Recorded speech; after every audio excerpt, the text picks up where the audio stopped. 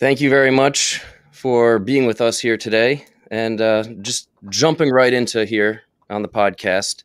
First and foremost, your photos, social media, and everything look absolutely amazing. Everything you're doing seems to be working pretty good for you here. Um, can you describe to me your own transformation and how you went from where you were at one time to where you are today physically? So it's a um, it's kind of a strange story. Like it all came out of bone density research. Mm-hmm. Oh, thanks for having me. Um, Pleasure. Thank you. yeah, yeah. Uh, it all came out of bone density research, and when I was developing my my first invention, uh, which is now found at OsteoStrong locations, uh, I noticed that as we were applying pressure to bone mass, you, you had to align bones on their axis. So this is the axis of like the humerus bone. Mm-hmm. You got to load from right here to right here. You got to basically squeeze the bone uh, from end to end and shorten it to trigger growth. And that's how we absorb high impact. Like you don't you don't absorb high impact when the bone is at an angle that isn't pretty close to axial. So uh, when I looked at what people were capable of absorbing into the bone mass at that geometry, uh, the both the ability to absorb force and to produce force was absolutely incredible. And so I realized I was one of the only people in the world who had the data that really shows that weightlifting is really not that great of a stimulus. Hence, I called my book Weightlifting is a Waste of Time. Uh, people love the title. I was going to say, thank uh, you very much. Uh, read it in the last couple mornings, get up at five o'clock, and it's been a good read. Nice. Thank you. Uh, well, fortunately, a lot of people liked it. Uh, we sold about 50,000 copies, and uh, it's Wall Street Journal bestseller. Absolutely. Now, when you were writing it, did you expect it to blow up like it did? Or were you just kind of putting out your. No, I, I knew it. Yeah. It was like, I have a contra- controversial message, but it's right. Mm-hmm. And I can really also one of the big premise points is that people don't really get what they want out of fitness. Like I know people who have been involved in fitness for years, and do they look a lot different than people who've been sitting in a pizza place for years? Not really. It's like true. you know, we we we all can all can point to the outlier who's you know, in the NFL or he's a bodybuilder or whatever, or she's a bodybuilder. Uh, but those are those aren't the general population. It's not like signing up for the gym and going two or three times a week means you're going to look like an exceptional athlete. Right. You'll probably look like nothing. And there's statistics in, you know, in to support that argument. Uh, you know, like the leanest one percentile top one percentile of males in the United States is 10.9% body fat. That is highly unimpressive. Mm-hmm. That's the top 1%. That's like you can sort of see your top of your abdominals. Really not that great. Now I'm right. talking about calipers, not DEXA, because DEXA adds basically four points because it's really measuring something different. Mm-hmm. DEXA like truly your percentage body fat, whereas the calipers is more like a skin fold plus adipose tissue right. measure. So um, yeah, that that was a stimulus for the book. And coincidentally, like w- once I developing the medical device, I just want to go back. Mm-hmm. Uh, developing the medical device, re- realizing that these people they had such a terrible stimulus. I, at first, I thought, well, what we need is a variable weight like variable resistance. Now, we already had band training, but I realized that the magnitude that was required to deliver the appropriate force to the human body, uh, if you grabbed a band and threw it around your back of the appropriate tension, mm-hmm. you break your wrists. Mm-hmm. So you know you need so much force that you really need an Olympic bar with rotation you really need a, a, a second ground to stand on so that the uh, the late because it has to be latex. Mo- most bands are made out of petroleum, Okay. and uh, they stretch out. And you know, there's a reason they're like five dollars at Walmart. It's because Like like the TheraBands you're talking about. Yeah, uh, actually, th- TheraBands are really light and they are made out of tree latex. Um, so that's that's why they're cheap. But I'm talking about the thicker, you know, like workout of the day kind of bands. Mhm. that They like sort of oddly and randomly throw into like CrossFit workouts. Mhm. um, yeah, those those are really low quality. Right. Uh, and and like I said, they stretch out, so people think they're getting stronger, but it, really the band's getting longer. So when it Mhm. comes to like your X3 bands, for instance, here, what it makes them so unique? Why are they so special? I mean, Power. being fortunate enough to use them, I can tell a difference. But a lot of people, when they first come in and take a look at them, oh, there's a bunch of bands. Oh, I got to get a sign, got to make a big That's deal. why I, I, I, I big correct people when they say, "Oh, I like your bands." I'm like, I don't know what the hell you're talking about. Mhm. sell bands. Like it's a whole product. Those Yeah. bands, you use those bands by themselves, they will break your wrist or your ankle. Like Yes. they're, they're part of a whole thing. Tried that 600 pound uh, off the ground the first day, and I said, nope. Yeah, I work up to gotta get there. Funny thing, uh, most NFL players don't use that orange band. Really? They're not ready for it. Now, they also use the product correctly, which a lot of users do not, Mhm. because lifting and uh, ego go hand in hand, I suppose, uh, with probably not just dysfunctional people. Probably some people get carried away when it comes to that. So, uh, oh, we got a lot of dysfunctional people on the internet. Don't worry, I'll get to that. But uh, the uh, yeah, there's just some regular people that like they think the moment they can move the strongest band just a little bit, they're like just as strong as you know a pro athlete or Dr. Baker, who's you know holds like deadlift world records. Yeah. Uh, yeah, except he's six four, and the taller you are, the harder it gets. It's actually, it's when I do a deadlift with the orange band, it's six hundred fifteen pounds. It's seven hundred fifty pounds when Dr. Baker does it because he's four inches taller than I am. And he was actually the driving force when I was out there uh, about a month ago. He swears by it. I mean, he said, Yeah. "This is what I do. This is all I do," and he is a physical specimen. So, Yeah. Kind of going back to what you're talking about, how a lot of people you can't tell the difference in what they look like, whether they go to the gym three times a week versus sitting in a pizza place all day. Why do you think that is? I mean, there I see on all of your stuff you list the research, and it's great. People don't read the research; they just go haphazardly doing whatever. Why do you think? Right. Some muscular guy tells them, "Oh, you need to do this and this and this," and they're sold. They just go and do it. Right. And of course, it's not. They're they're not the same guy, and you know, very often what somebody does in their workout Mhm. is not what got them there. Mm-mm. Yeah, I mean, like what got almost everybody there is very basic barbell movements. Right. Because you know, like when did when did most pro athletes start lifting? Like in high school. Well, True. they didn't have fancy equipment back then, so who cares what fancy equipment they they use now?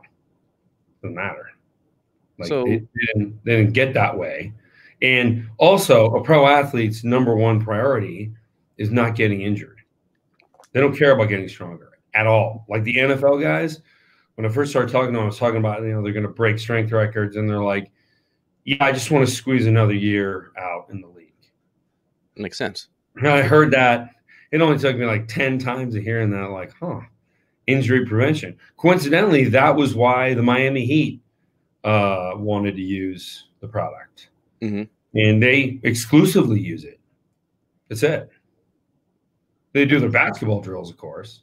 So you got a professional athletes now that are using, I call it the technology, the X3 Yeah, technology, using the X3 product there. Um, so why hasn't, why does the general public still not believe in a different change? Do you think there's this paradigm of you need dumbbells and barbells and running for miles and miles on end, and that's the only way to get and be in excellent shape. How do we change this paradigm for individuals to actually understand the science behind it and that this works better? Money. Good answer. Marketing dollars. Like Mhm. Why does everybody think? Well, let, let's let's use an obvious example.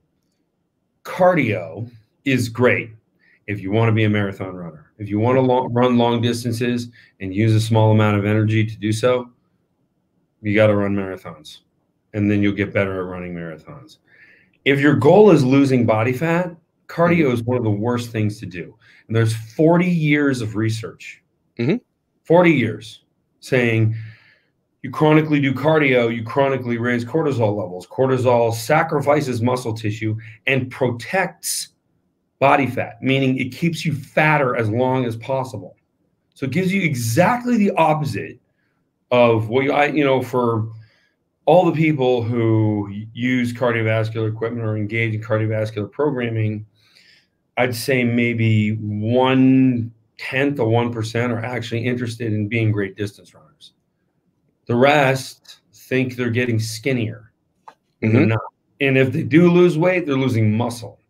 They're most likely losing muscle based on how the hormones come out. And you don't you really don't want to fight your hormonal system. Like We it's should a losing battle. I kind of encourage it, right? Not right. take away growth Right, hormone. encourage pulse a way, right, right. So you got to do things that are going to encourage a leaner physique and a more muscular physique. Of course, one of the ways to get leaner is to become more muscular. 'Cause Your percentage of lean mass goes up, Mhm. percentage of fat mass goes down because it's a percentage.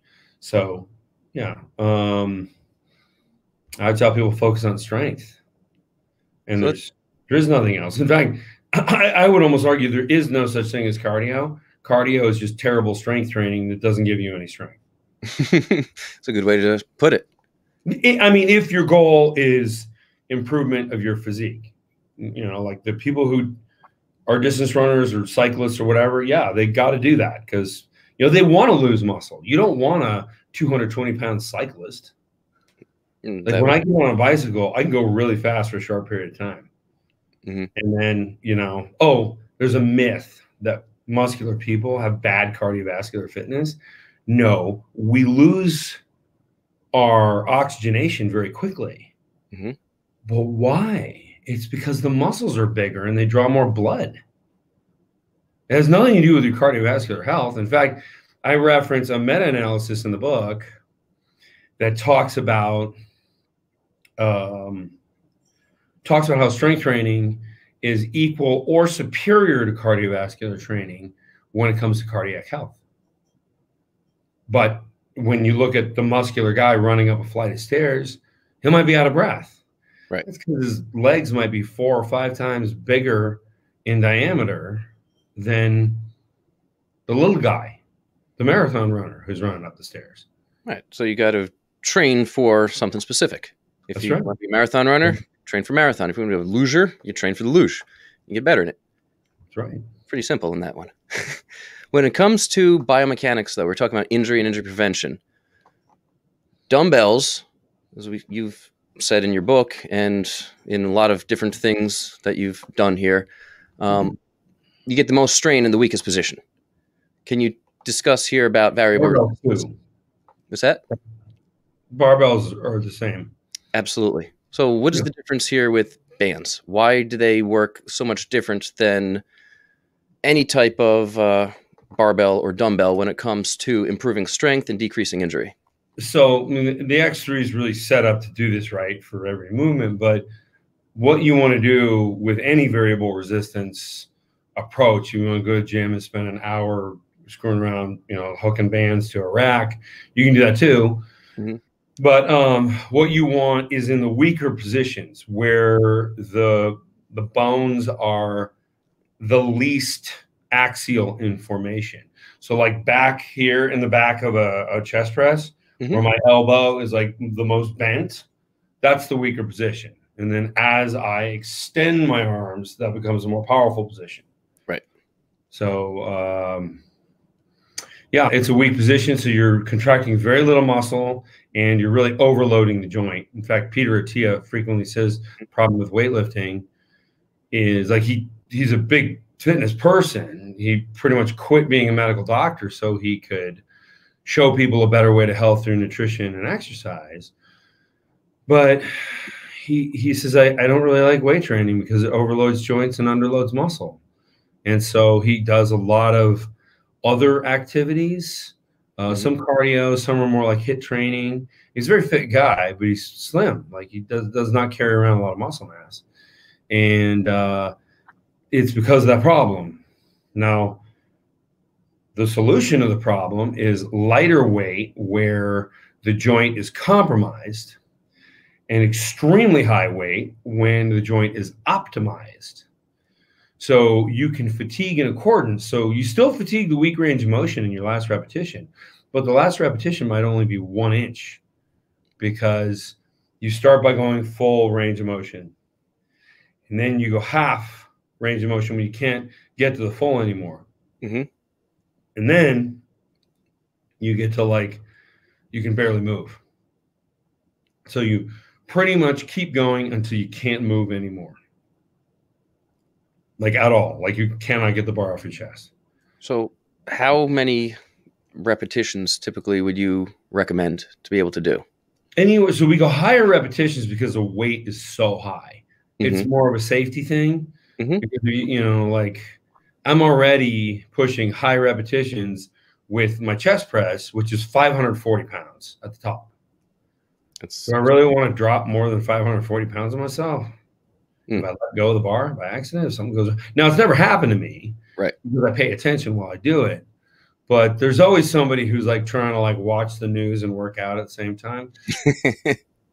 You know, like I when when when TVs started showing up in gyms, hmm you know, like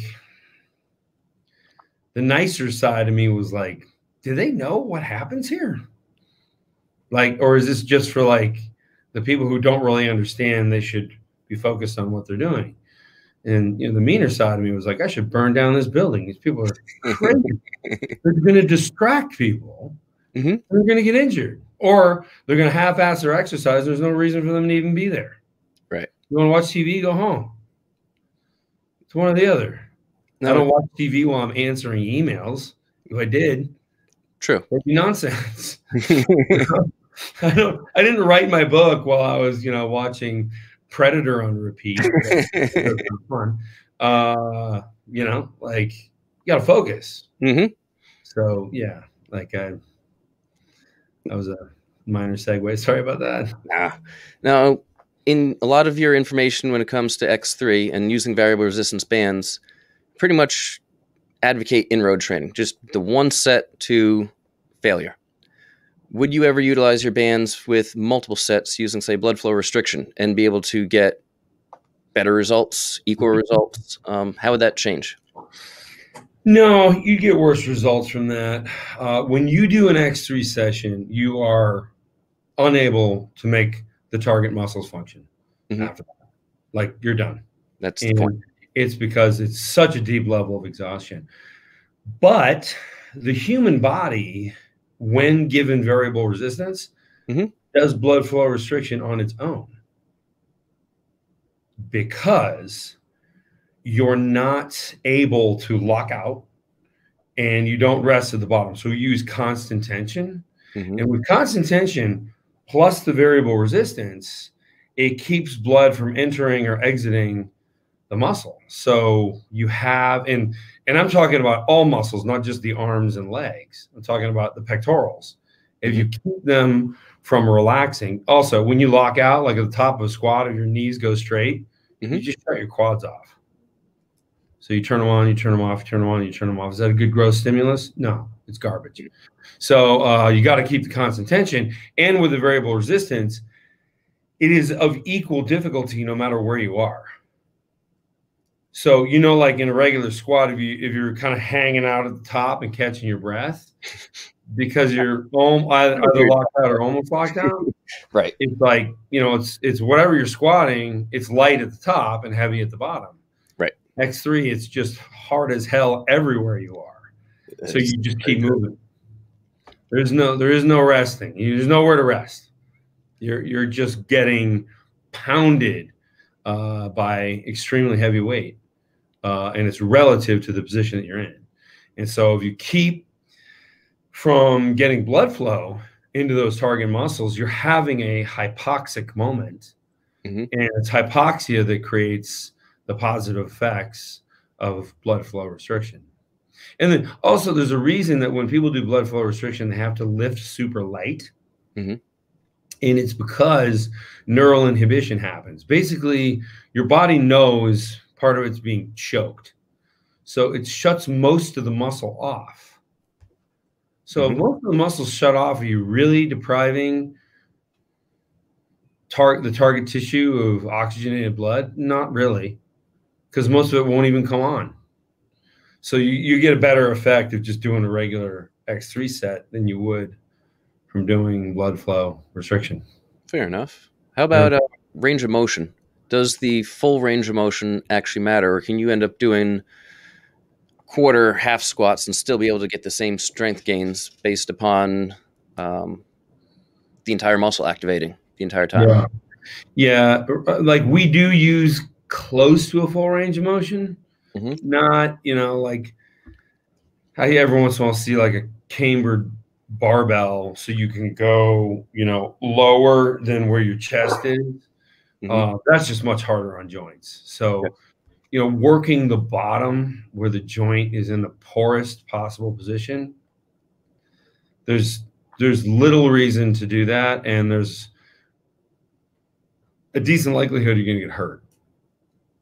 So we don't do that. We never do that. Um, but having a range of motion takes us to sarcoplasmic fatigue. Mhm. You're burning up the ATP, the glycogen, the creatine phosphate, all the fuels in the cell. And because you're burning them up very quickly with a variable resistance, your body knows it needs to replace what was there plus add more. So uh, yeah, you you would get less of that if you really compromise the range of motion. But yeah, some people they don't have the knee mobility or they have like a knee replacement Mhm. and they can't you get to parallel. Like when I squat, I go to parallel, uh, but it's a lot lighter when I'm at the bottom than it is at the top. So that's not stressful to my knees. Uh, but let's say somebody just doesn't have the range, Mhm. you know, like they were told to go to physical therapy and they just like went to Hawaii instead. Uh, and there are a lot of people like that. yes, they are. Uh, right. And then then they lose that range of motion. So yeah, you can still be very successful doing a half squat. Mhm. Not as successful as if you engage more of the tissue from that sarcoplasmic standpoint. what are your viewpoints here on individuals who if they are lifting for three weights here decide you know what i'm getting older i don't need to hit the 600 pound squat anymore so let me lighten up the load a little bit uh, there's a guy uh, when i was coaching the blue jays there he could do a 500 pound squat but in the regular season the other coaches wouldn't let him do more than 225 and let him go to 20 reps my concern was that he's going to atrophy um, he's not hitting his peak anymore. When it comes to that, you know, a lot of individuals nowadays I'm finding, you know, let me squat 135 50 times. Is that even doing any good for them? Not really. Like there's no, and I, I reference, and I, this is chapter two, uh, chapter three of the book. Mhm. There's no getting away from heavy. Mm. Now, X3 is a far heavier and safer approach to stimulating strength uh, and and gaining muscle mass. So I would say no. I answer a lot of questions by saying everybody needs an X3. Uh, you know, I mean, am I selling it? Yeah. I get, I get, I get like trolled for like, you know, like somebody write this bastard is just trying to sell his product. It's like you commented on an ad. yeah, Mm. that's what ads are for. But you know, it's some sort of like Antifa attitude, like nobody's allowed to succeed. Uh, that, that's just what losers say because you know they didn't succeed. So why should anybody else? Um, yeah, I don't care about those people. Um, but um, it's it's easy for me to pitch my own product, but in reality, like if they could still get heavy Mhm.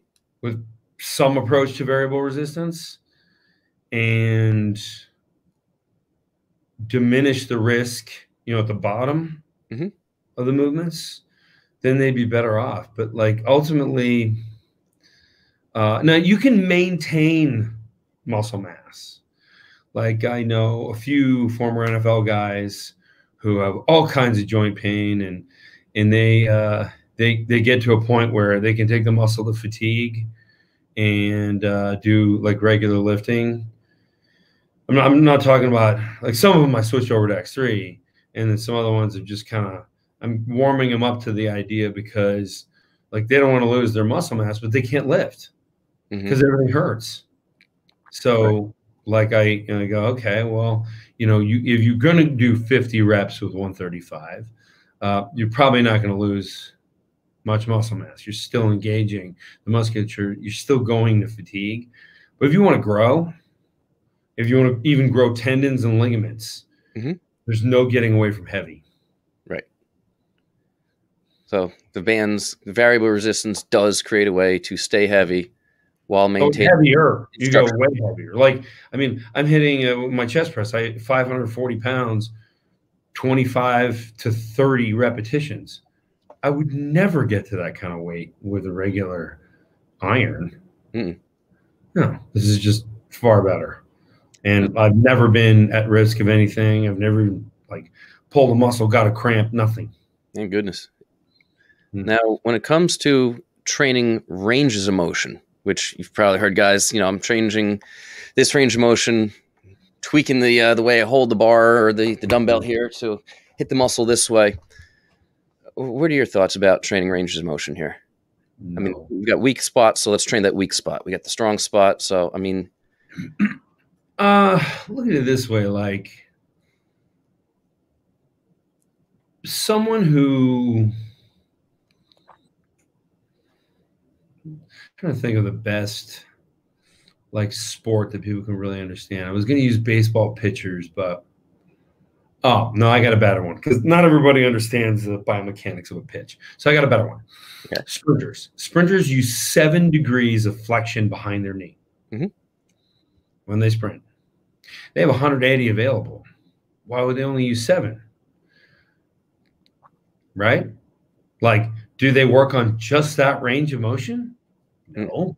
Nope. No, in fact, they have drills where they really exaggerate their their biomechanics. Uh, you know, you do butt kickers, you do all kinds of different drills uh, to stimulate some strength and flexibility and activation, sort of the neural plasticity, be able to learn the pattern. You know, if all of a sudden you're sprinting and the ground is a little bit uneven or something like that, you can make the alteration, you know, in a hundredth of a second right. without even thinking about it. So, um, they don't train specific ranges of motion. You don't need to do that. Hmm. But eh, you know, it might have just been one of those things where somebody who didn't know what they were talking about just came up with something and was like, "Oh, I'm going to tell everybody this is important to do." It happens a lot. Maybe somebody will buy my book or something. Yeah, but there's no there's no backing to that. A lot of people are still obsessed with stretching as well. Um, I notice a lot of people still I don't know how, but still doing long, slow, static stretching before physical activity. What, what, what's your insight on that? Is that going to injure people more? Yep. No, and, and why? It's going to shut muscles off. Yes. Yeah, turns muscles off. Stretching after you work out, mm-hmm. different story. But also, it's it's not really a range of motion thing. It's a getting blood into the muscle thing. It's a stretching the casing around the muscle thing, which is, uh, I think that's like the ninth chapter in the book where I talk about hyperplasia. Mm-hmm.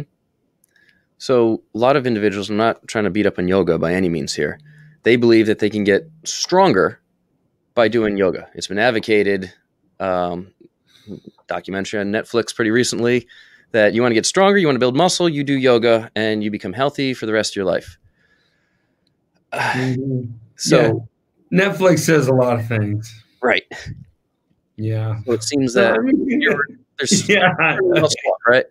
And by turning the muscle off, we're not actually stressing it in any manner in order to develop it or yeah. the joint or the tissue. I mean, like does pulling on your hair make it grow faster? I haven't tried. no, no. Theoretically, definitely. Yeah, no. The answer is no. um, yeah, like what? Uh, yeah, it, it's um yoga people are a little like like vegans, where it's it's almost a religious commitment, and mm-hmm. you know they they got to justify it somehow for some reason. I mean, you don't really need to justify anything you do. I mean, as long as it's within the laws, though I'm not even sure that's a thing anymore.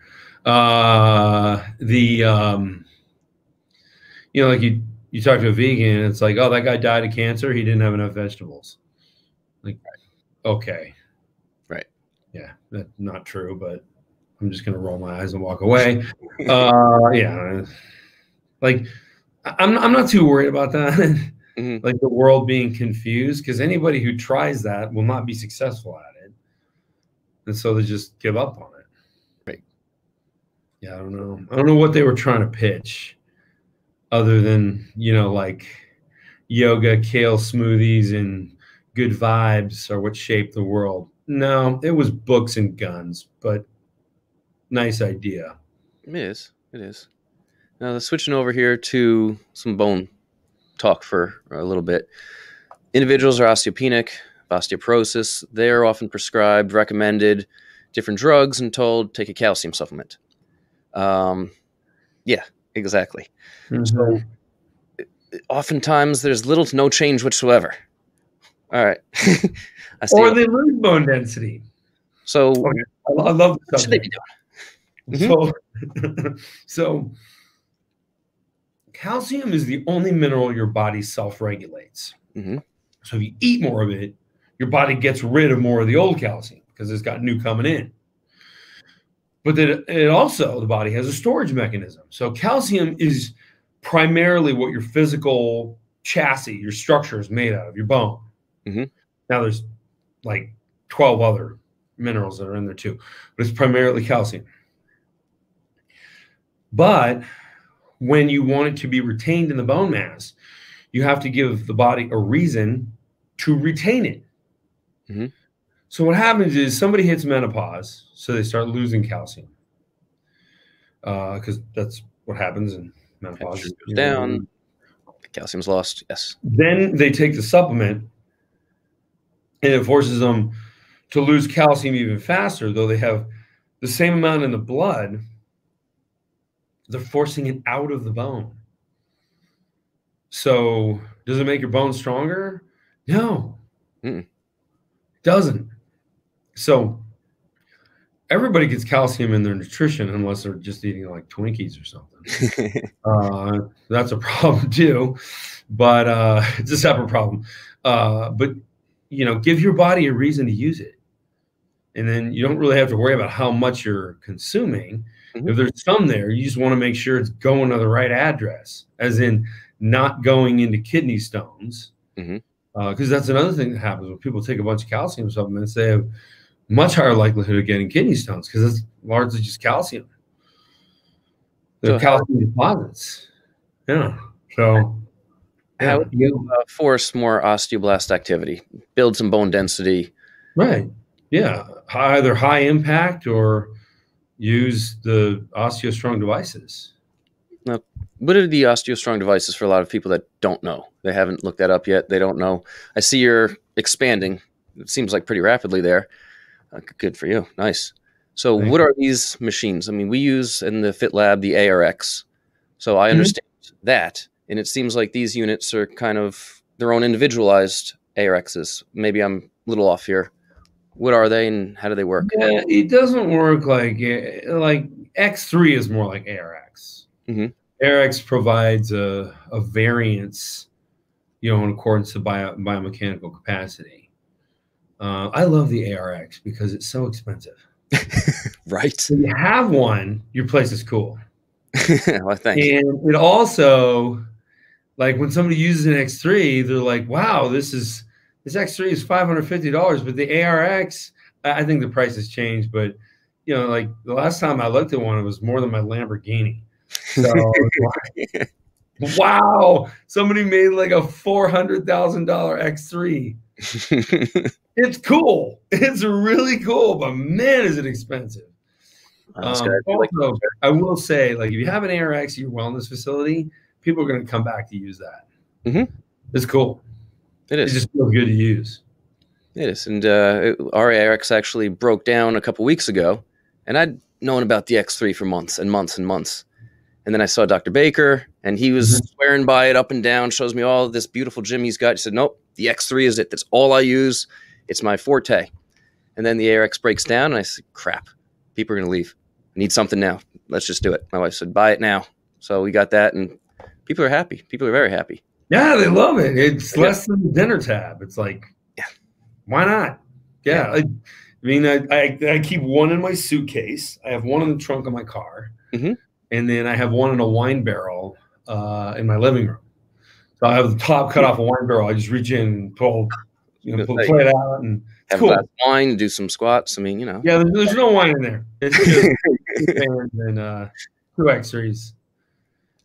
You know, in case I have somebody uh, peer pressure into working out with me, which is pretty much everybody who comes over. Pretty often, right? Yeah, yeah, they don't, they don't have a choice. So, how exactly do your your machines work in your your clubs there? Oh, at, OsteoStrong. Yes. Yeah. At OsteoStrong, yes. So i i- the robotic arm puts you in a position where Mhm. you would naturally absorb high impact forces. So I'll use my arm as an example again 120 degree angle right here, and more like that. And the back of the hand, where, where are we right here? Back of the hand in line with the clavicle. So when you trip and fall, Mhm. that's exactly how you protect yourself. So that's just the example for the upper extremities. Now we have upper extremities, lower extremities, spine, and core. Mhm. So there's four movements, but we're trying to identify. We do identify where you would naturally absorb high impact forces, and then allow you to self load in those positions and create as much force as possible while you're looking at what you've done in previous sessions.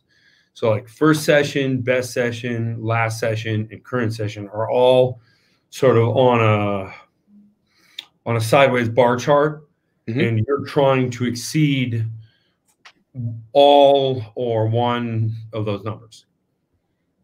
And how long does the individual keep the tension going?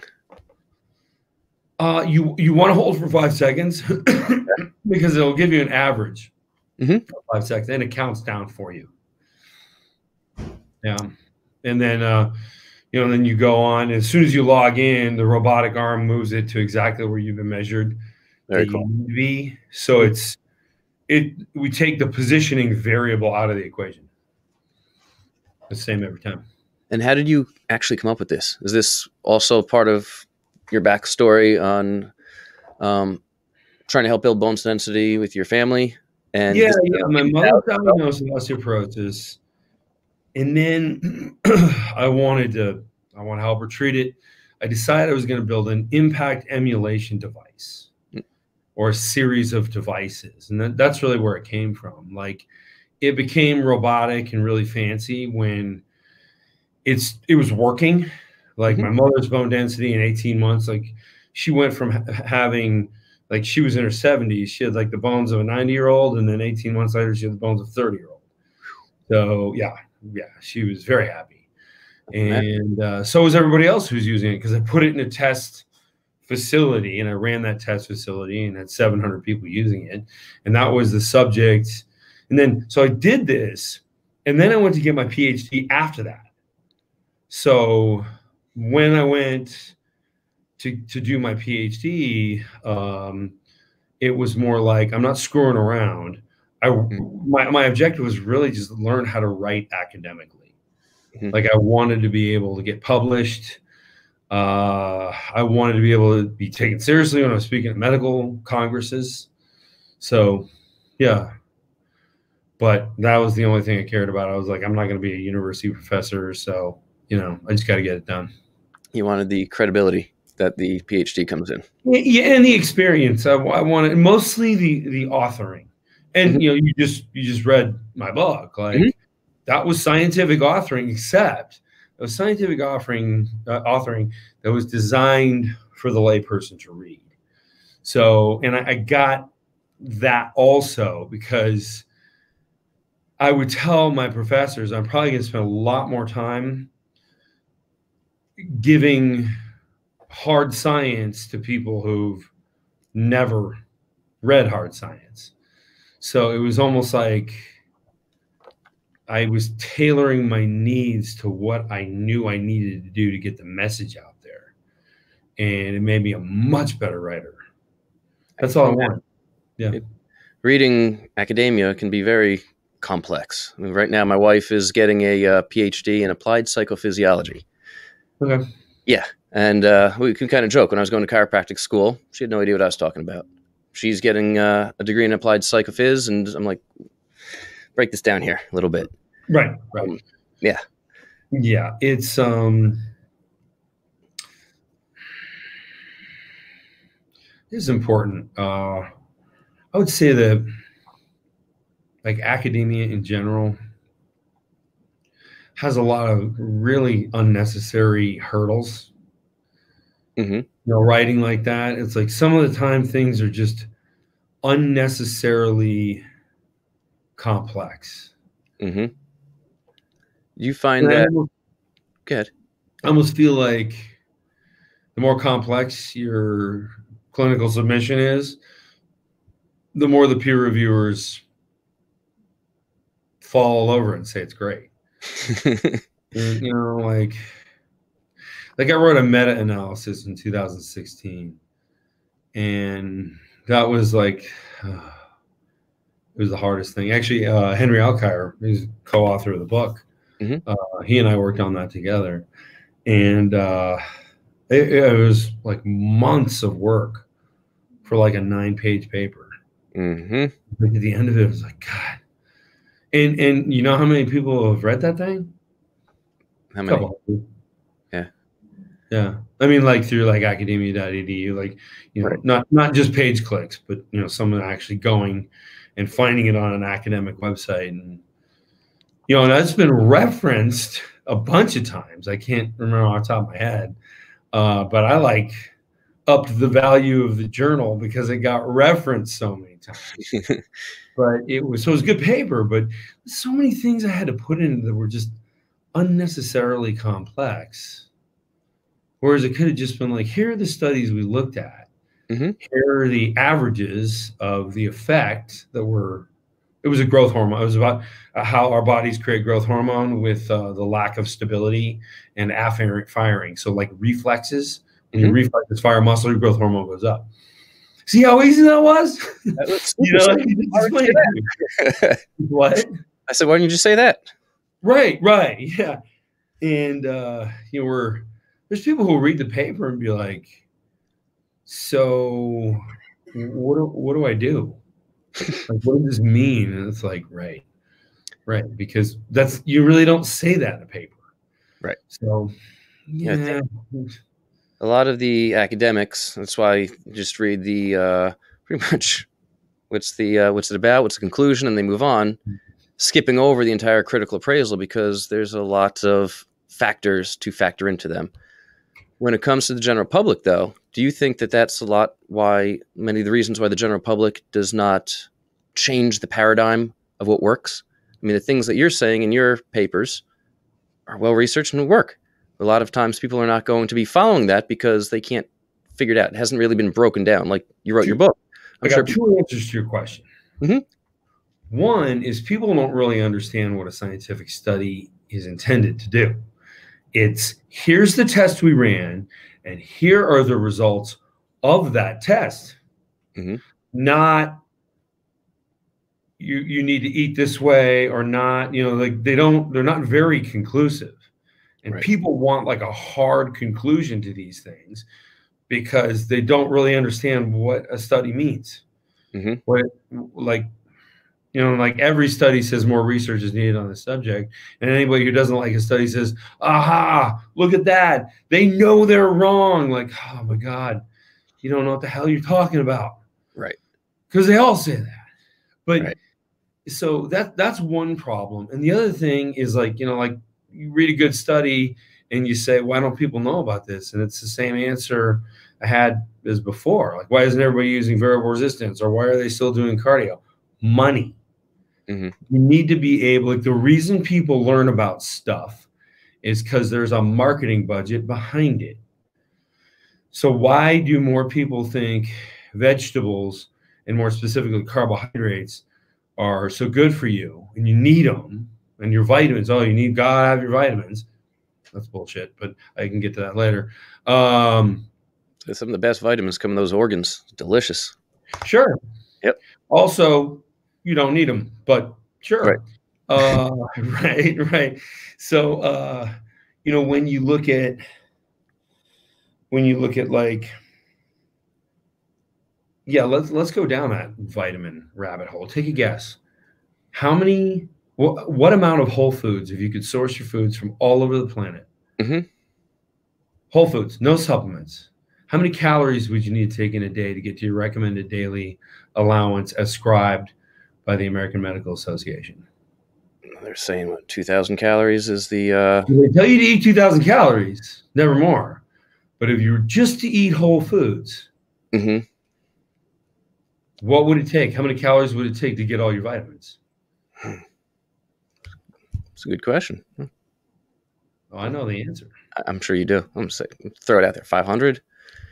What's the answer? 27,000. Oh, excuse me. I was on the other, wrong side of the uh, the equation there. 27,000. Right. So no one ever ate like that. No, A rhino does not eat like that.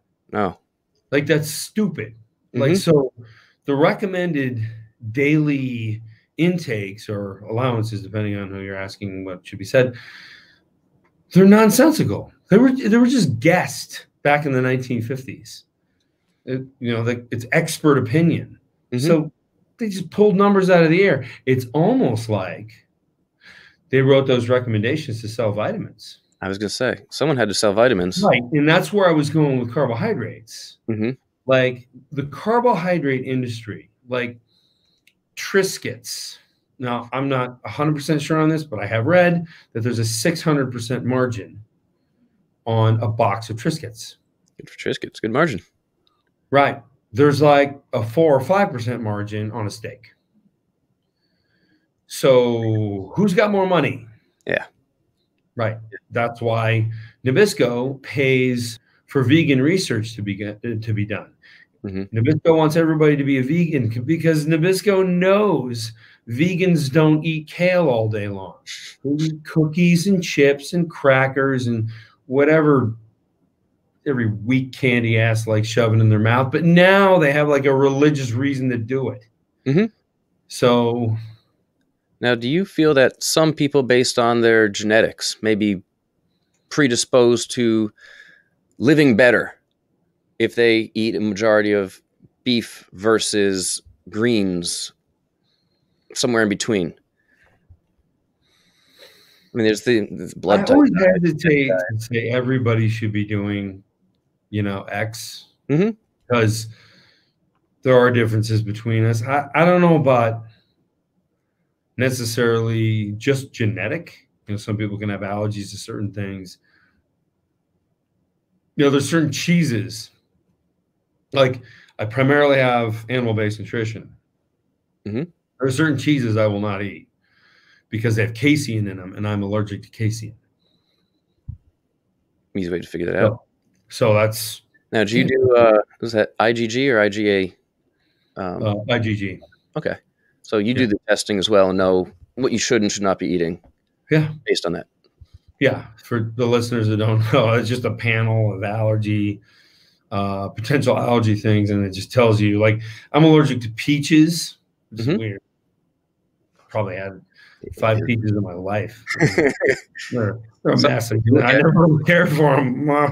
you know, peaches. I'm allergic to celery, which is pretty much just fiber and a water. So, got me there. Uh, all melons, all nightshade plants, and casein.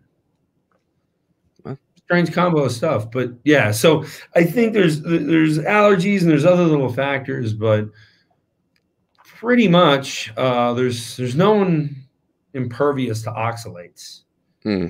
So all plants have oxalates, and they're it's a low grade poison.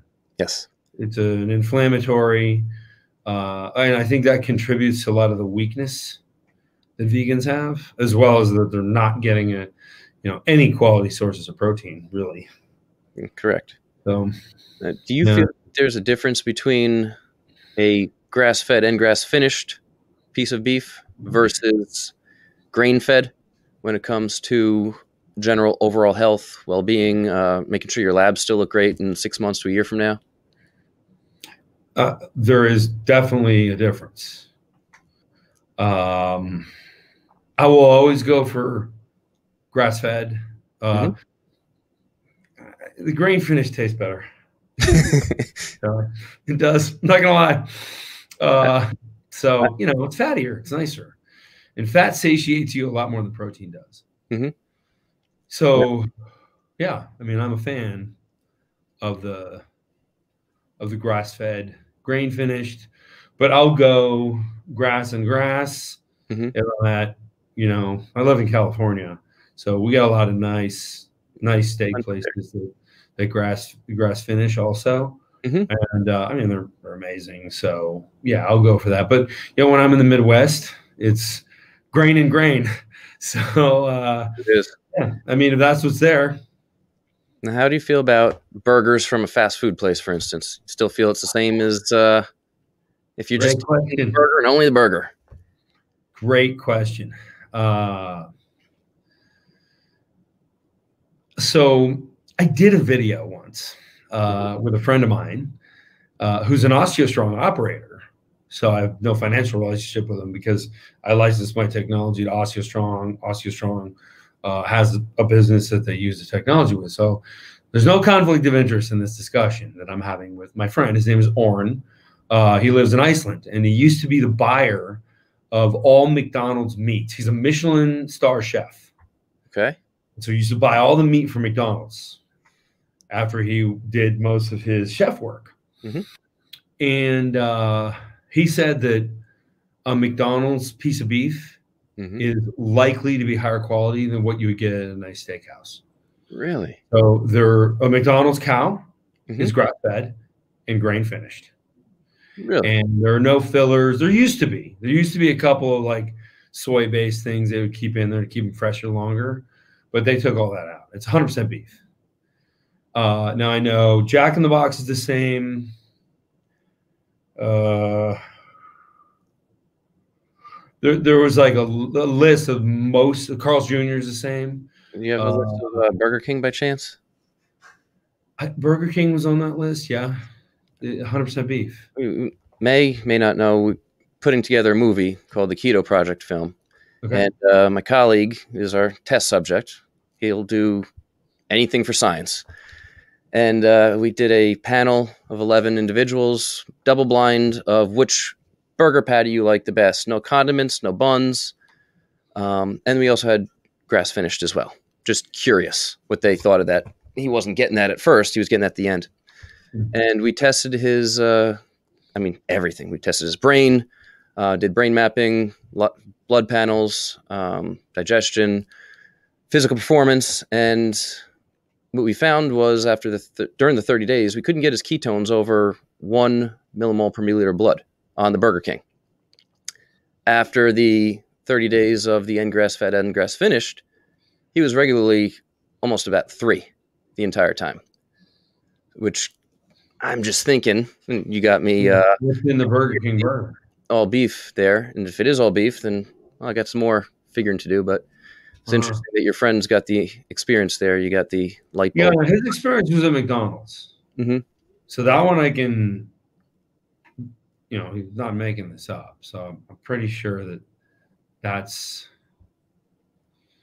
that's and could just be my colleague. He's uh, could just be him. Um, let me ask you a few about proteins and aminos. Mm. Uh, I love essential aminos. Absolutely, just love them. Uh, if somebody wanted to compare having protein versus having a serving of aminos, is there any translation of one to the other? Someone's wanting like 30 grams of, not throw out whey or beef or whatever it may be, versus X number of essential aminos that you get from your website. Um, is there a translation and what should be had when and can it even be compared in terms of grams you know i'm really prepared for this answer right? Uh, um, yeah so whey is like if you look at nitrogen as the byproduct of unused protein like protein that wasn't digestible which mm-hmm. is really just the wrong ratios of aminos. Mm-hmm. With you know the basically the parts of protein of aminos are really an amino acid is uh, parts of complete proteins that couldn't be used. So only so 82% of whey becomes nitrogen and goes to waste. Mm-hmm.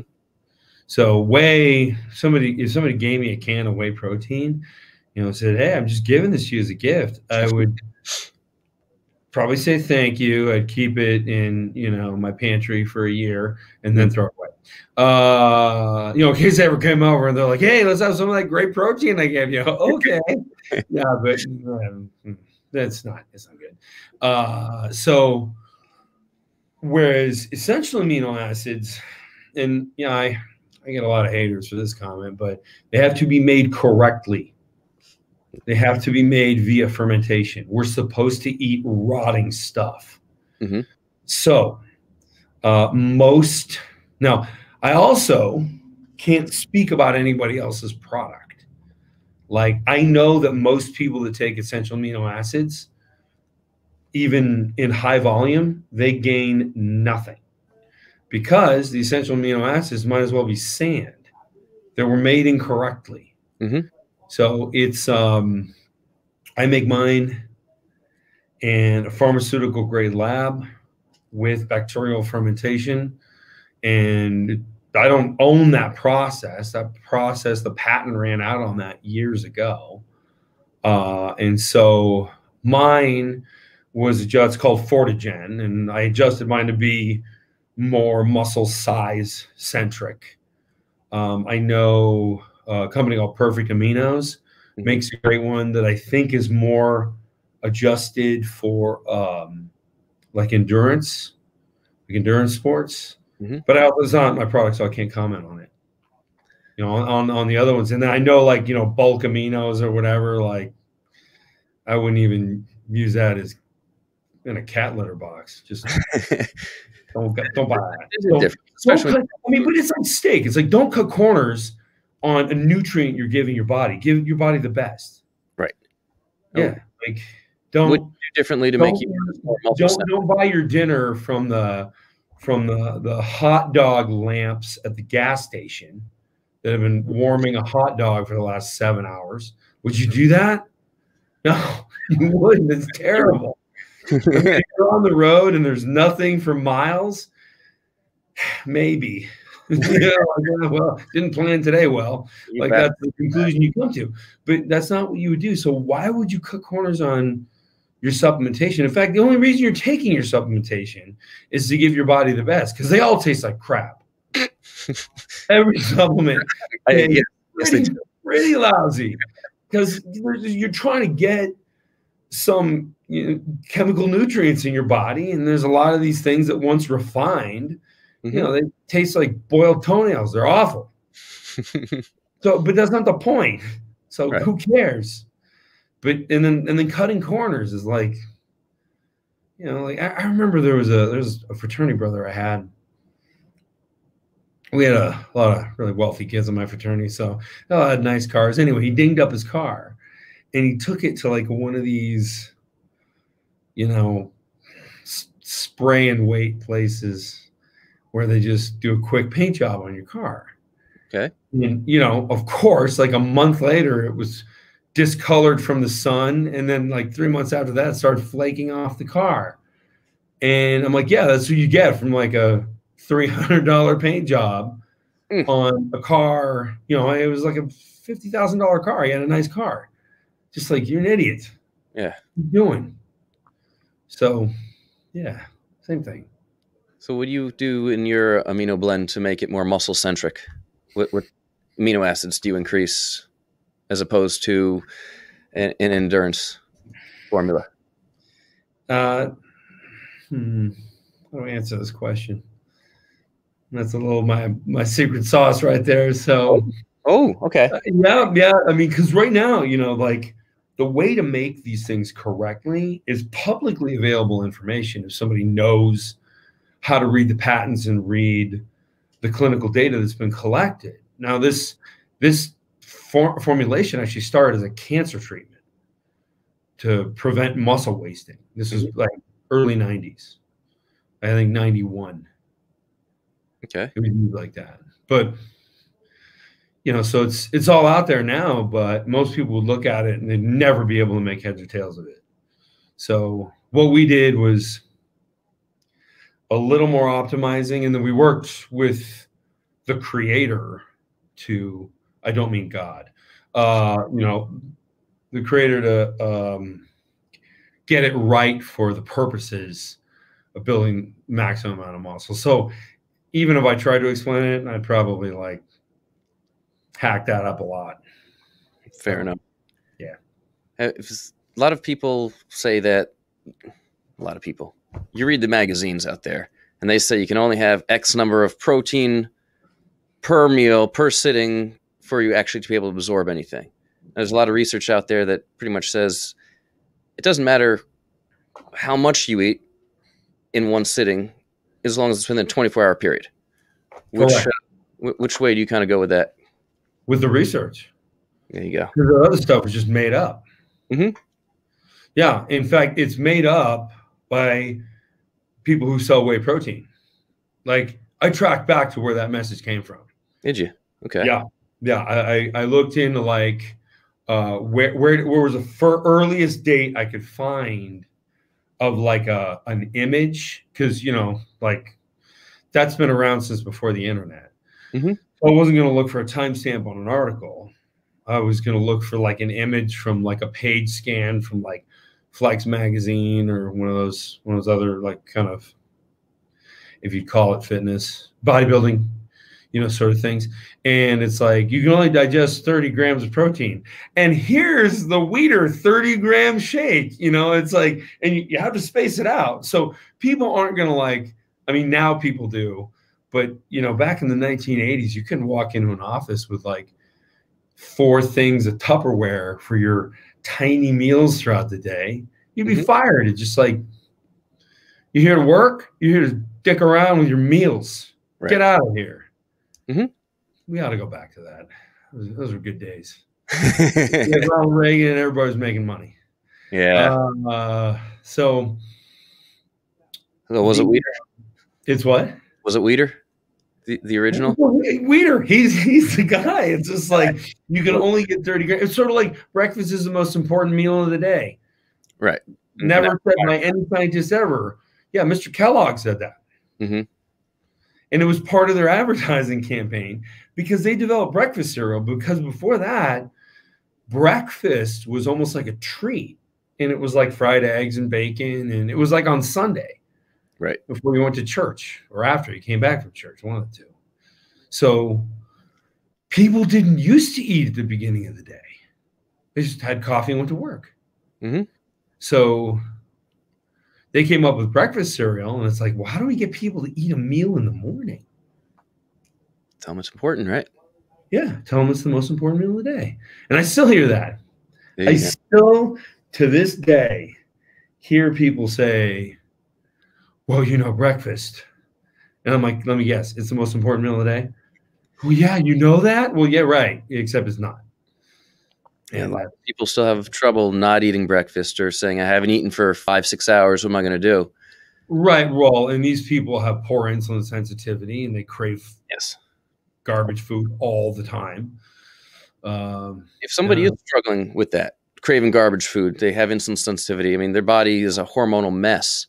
Mm-hmm. You know, what are some little tips that you can give them to right here regulate? I own none of this company. little xylitol uh, chewing it up. Xylitol gum, yeah, spry. Get this. Uh, I mean, I have it right here. I don't really need it, but you know, every once in a while, like I had a birthday a little bit ago, and my mother doesn't listen at all. Despite despite me fixing her osteoporosis, right. you know, still got like every birthday I have was like a giant cheesecake, and I'm like, mm. Awesome. Thanks, mom. So, you know, I had the cheesecake, and then like the next morning, I'm just like, you know, my stomach's just doing cartwheels. Like, man, I'm hungry, but I know why. Mhm. And I think when you know why, and you've been on the other side, you're like, all right, have some xylitol gum, I'll be fine. Good little little trick there. Yeah. Going back real quick to the uh, aminos. Mhm. If somebody is just going right into it, fasting, um, doing intermittent fasting, whether they realize it or not. I mean, before it became a thing, I did it and didn't even know I was doing it. A lot of people I find the same way. They didn't realize that they're going 12, 16 hours not eating and then eating in a Oh, short I wrestled in high school. Yeah. We did multi-day dry fasts. Oh, dry fast. You're, you're Oh just, yeah, no water. Oh yeah, because you you wanted to get rid of the water so you could drop down in weight class. yeah. You drop like ten pounds of water, and you rehydrate before the match. And there were guys who would win just because their opponent would look at them and go, "Oh, I can't." Like, there's something wrong with the scale. How did this guy weigh in? That's how. Ah. So Yeah. When, when it comes to aminos, is there too much that you can have? Uh, can have them throughout the day. Is there a limit? Can you just drink it like it's uh, in every glass of water? No, no, I wouldn't do that. Uh, there's a limit to how much you can absorb. Mhm. I'd say the equivalent of one gram per pound of body weight. So, like Fortagen is 10 grams, but when you total your protein for the day, you count it as 50 grams. Okay. So, um, yeah, if I do two doses of Fortagen, let's say one in the morning, one in the evening, and I will spread that out just because that's how they did it with the cancer treatment. Now, I think they may actually be, they may have like grabbed a hold of that nonsensical rule that you can only have, you know, a certain amount and, and have to spread your protein out throughout the day. Right. Uh, I have asked that question to the scientists that developed the original treatment. They don't have a good answer for me. Hmm. They don't know. They don't know why it was done like that. That's just what they did. Like I said, scientific studies are here's what we did, here's what we found. Right. They're never like, here's how it all works. Because we we may not know why it works. We may be guessing the wrong direction. It may be a totally different physiological process. You know, like I hate the term keto diet. Because ketogenesis is not a diet. It's a physiological state of the body. Mhm. So I can get into a ketogenic state by eating absolutely nothing. Is that a keto diet?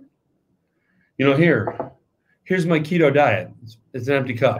It's right here. Can't you see it? You know, I mean, like, See, like when people come up to you and say, "Hey, I'm doing keto," and then you say, usually uh, they're holding a beer when they say that.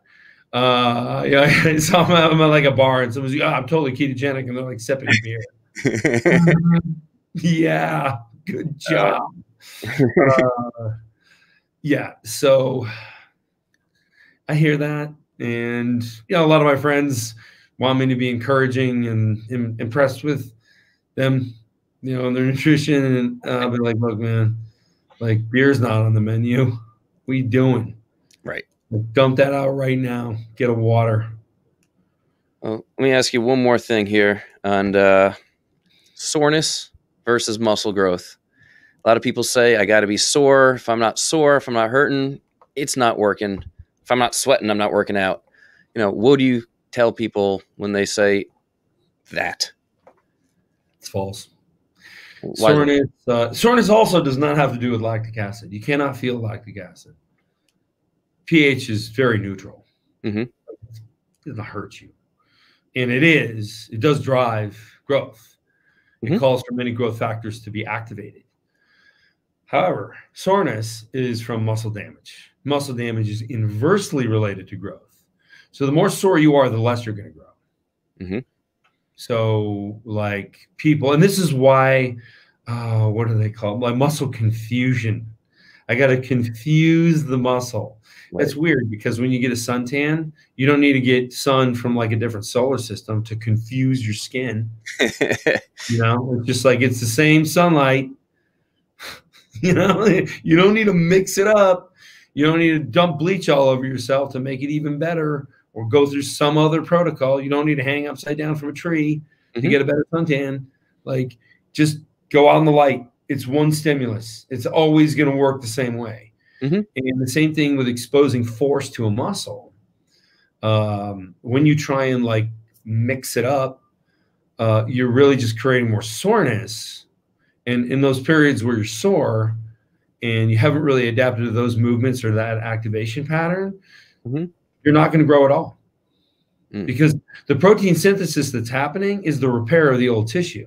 It's only when that is done and then you get another stimuli that you can induce a growth effect. So, and there's research on this. I post it all the time. It's funny. I will post something and I'll have like two or three references, like as an Instagram. So I know you follow me on Instagram, and as you know, like it's it's hilarious. I'll I'll make a comment and then I'll have three studies to support it, and then people will be like, "Well, you know, to hell with you. This is the stupidest thing. This is not how it works." And I'm like, "Well, which of the studies did you read, and what part of each different study did you not agree with?" Because I can tag the author. You write to somebody that was great. yeah, you saw you see me write that all the time. Like I can get the authors involved in this conversation, the ones who actually perform the study, right? Because this isn't like a study I paid for. This is something that you know maybe was published in the '90s. You know, when I was in elementary school. Mm-hmm. So, like, what? it's like studies right there, but you know they don't they don't want to read it or they don't read it. They just want to have i don't know maybe it just makes them comfortable to think they have all the answers. You know what my favorite study the whole world is? What's that? You'll remember this. You'll bring this up at cocktail parties. The best study ever is dunning-kruger 1999 it's a psychology study and it looks at competence and perceived competence. So basically, the dumber someone is, the more they believe they're completely competent. Like they're in the, the, the, dumbest people believe they're infallible in their decision making. And the smartest people underestimate their competence. So and they, they just just kind of barely underestimate. Like so let's say they're 100% proficient mm-hmm. or 99% proficient on average, and they put themselves at like 90%. But the people who are 10% proficient will put themselves at 100%. Mm-mm-mm. The irony. It's like the Chinese proverb he who uh, truly wise man knows that he knows nothing at all. Seems like yeah.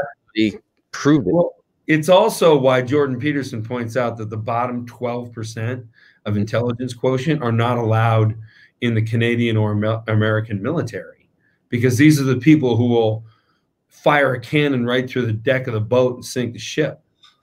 They're stupid. Yeah. And you know, who has time to comment on the internet all day? True. Yeah. True. so these these are internet commenters. I and they speak with such absolute authority. You really see it in politics. You know, mm. either side, either side, you can you can see the most uh, absolutely ill-informed, uneducated, nonsensical crap spoken with such absolution. Mm-hmm. They know it all. This is the way it is. You know, they're trying to like explain economics or something, and you're like, dude, like, who ties your shoes for you? how, how have you not been killed in in just walking across the street because I feel like you'd be looking up instead of to the right and to the left. Like it's good you can laugh at that. I mean, you get enough of it, and I'm sure it, has got to get to you from time to time. Yeah. Um, awesome. Um, well, I want to thank you so much from bottom of my heart for being here. Uh, Absolutely amazing. And uh, this will be on every podcast device, most likely next week once I get the show notes done up and uh, I'll send that to you, and uh, we'll blast it on out and have some yeah, fun. I'll promote it. Thank you so much. Appreciate it. Perfect. All right. I will uh, be in touch. Great. All right. Thank Bye. you, Doc. Take yeah. care.